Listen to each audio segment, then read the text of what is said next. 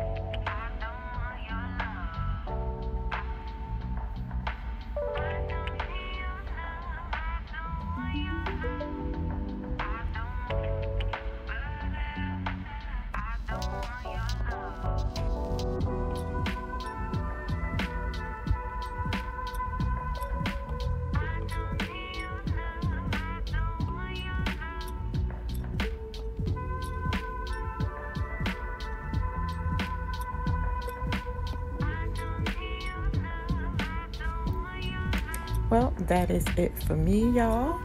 So, for the month of July, I have a total of nine books to read. A couple of them are ARCs. So, we shall see how this goes. If life doesn't life the way that life usually does, I should be fine. But we shall see. But that is it for me, y'all. And until the next one, later days. Bye.